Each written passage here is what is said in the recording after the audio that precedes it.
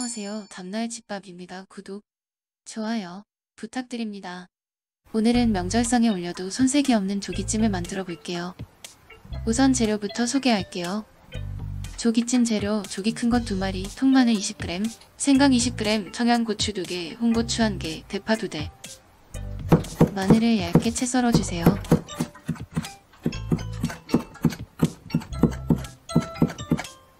생강도 얇게 채 썰어주세요.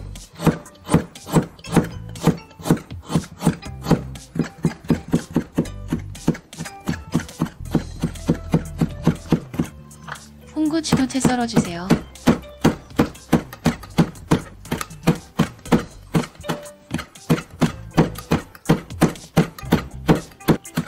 청양고추도 채 썰어줍니다. 대파는 3에서 5cm로 채 썰어줍니다.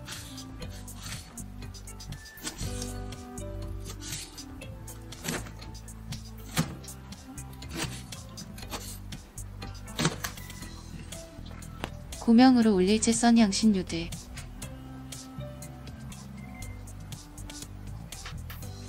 전 집에 작은 조기가 있어서 작은 조기 4마리를 사용했어요. 조기는 앞뒤로 양념이 잘 배도록 두세 군데 칼집을 내주세요.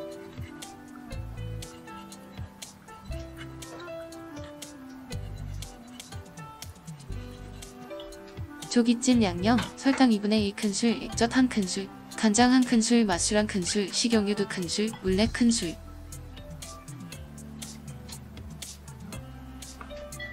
양념에 설탕이 잘 녹도록 섞어주세요. 냄비에 채썬 대파를 먼저 깔아주세요. 채썬 대파 위에 조기를 가지런히 올려주세요.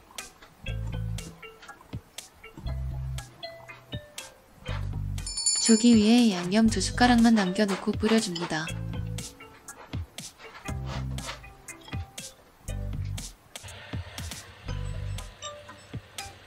뚜껑을 닫고 중불에 10분간만 쪄주세요. 10분 후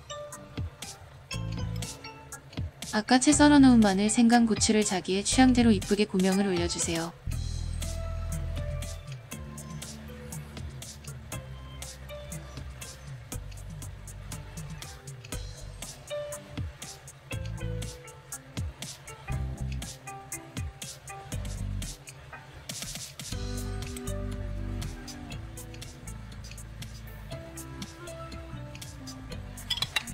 그리고 아까 남겨놓은 양념을 고명 위에 뿌려주세요. 2, 3분간 더 쪄줍니다.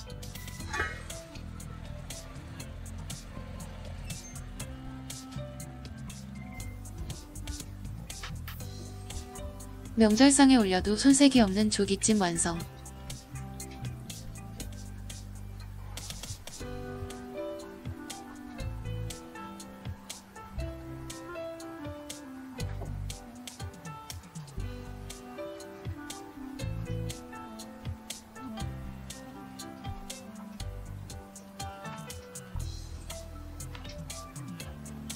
메나를 대파는 버리지 마시고 조기랑 고명이랑 같이 드셔보세요.